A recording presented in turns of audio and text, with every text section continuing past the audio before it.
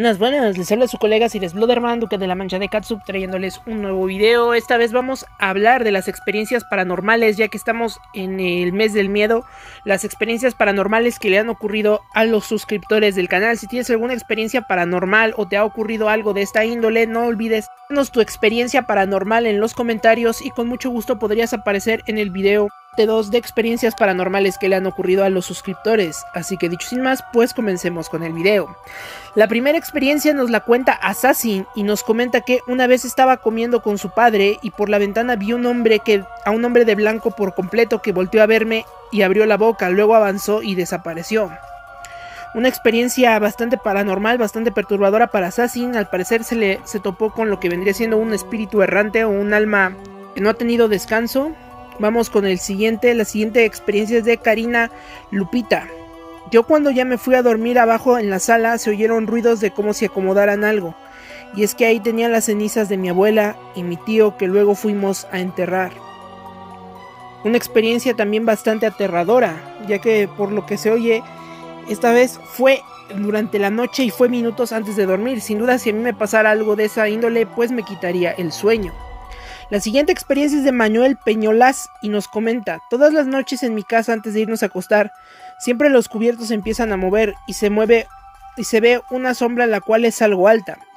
Yo he podido observar la silueta, sin embargo mi madre me contó que cuando estaba embarazada de mi hermana, un día que se acostó en su cama pudo oír cómo la puerta de su cuarto se abría y cómo se sentía como si alguien se sentara en la cama, a lo que ella saludó a mi padre pensando que era él, pues ese día llegaría tarde. Al no obtener una respuesta, se volteó y se dio cuenta que nadie se encontraba en la casa. Pocos minutos después mi padre llegó de trabajar. Otra cosa es que en la casa de mis abuelos hay muchos espectros, por lo cual no era de sorprenderse que de una noche, mientras mi hermana y yo dormíamos, alguien empezó a arrastrarnos fuera de la cama, a lo que mi hermana y yo decidimos agarrarle las manos y agarrarnos de las manos y prender la luz. Sin embargo, esa cosa cesó y mi hermana se paró a prender la luz. Sin embargo, ahí no había nadie. Al contrario, más cosas, nadie. Contraria, más cosas, pero esa cosa le sucedieron más a mi madre y a mi tía que a mí. Buenas noches. La siguiente experiencia paranormal sería de Avis Balbuena y nos comenta, me pasó como a las 2 de la mañana, se escuchó como que alguien golpeaba la puerta, no pasó eso nos pasó eso muchas veces. Hay ocasiones que golpeaban las ventanas, pero al salir no había nadie, y así siguió durante unos meses hasta que nos mudamos de casa. En ocasiones es mejor mudarse de casa para que las experiencias paranormales ya no continúen por la gran cantidad de espectros o espíritus que puede llegar a haber en una residencia. La siguiente experiencia nos la cuenta Mauro Diego Pulido y comenta que varias veces en su cuarto, donde él duerme, ve bultos o cosas blancas pasar rápidamente y luego se desvanecen lo que él cree puedan ser fantasmas, posiblemente sean fantasmas o almas errantes.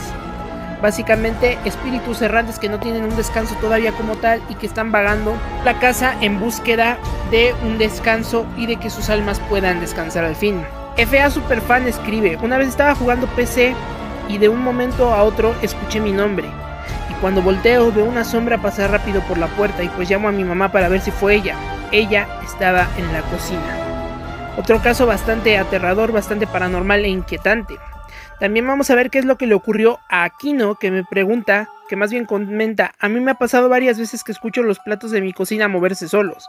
Eso también no es nada raro y llega a ser una experiencia un tanto traumática si vive solo.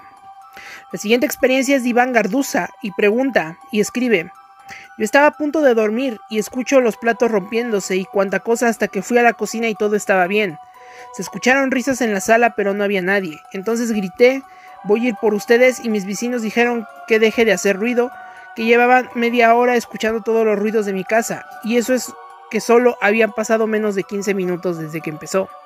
Otra experiencia bastante paranormal es la que nos comenta White Coffee, que comenta, soñé que era una niña como de 5 años asiática, pálida, con pelo negro, y largo, alisado con un kimono blanco. Iba siguiendo a un adulto también vestido de blanco y éramos así muchos niños pequeños siguiendo a esa persona por un pueblito asiático en una montaña aparte. Estaba nublado pero aún así se podía ver el sol. Después llegábamos a una casita de dos pisos donde había más adultos vestidos de blanco. Nos dividieron a varios niños en cuartos diferentes y nos dijeron que ahí dormiríamos. Fuimos como a un orfanato creo yo. Después de un rato en el cuarto llegaron los adultos y nos llevaron a un comedor grande, todo de madera como clara. Nos pusimos en fila y fuimos con una bandeja a que nos dieran nuestra comida. Después de que me la dieron, volteo a donde estaban las bancas con mesa para sentarnos y tuve un pequeño flash y de pronto todo se puso rojo. Vi que los niños estaban comiendo no comida normal, estaban comiendo partes humanas, brazos, piernas y había cadenas manchadas de sangre por todo el comedor. Después tuve otro flash rápido y todo volvió a la normalidad. Me asusté demasiado que me fui corriendo a mi habitación que me tocó. No sé cuánto tiempo pasó, pero ya era de noche y llegó un adulto con camisa de botones blanca y pantalón negro. Yo cuando fui a la habitación me acosté boca arriba y así me quedé sin moverme viendo cómo se sentaba, cómo entraba ese señor, mover, cómo entraba ese señor. Venía con cara muy alegre hacia mí, me vio la cara y me dijo que lo acompañe con los otros niños que teníamos que ir a bañarnos. Cuando todos, yo era la única en la habitación cuando me lo dijo, por cierto.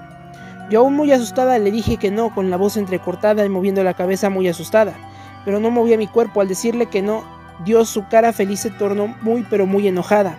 No me dijo nada y se acercó hacia mi estómago y comenzó a hacer presión con sus manos de una manera muy fuerte que me desperté del susto con la sensación que me estaba haciendo presión en el estómago. Y lo peor de todo es que solo he soñado dos veces y siempre es igual, siempre despierto con el mismo dolor.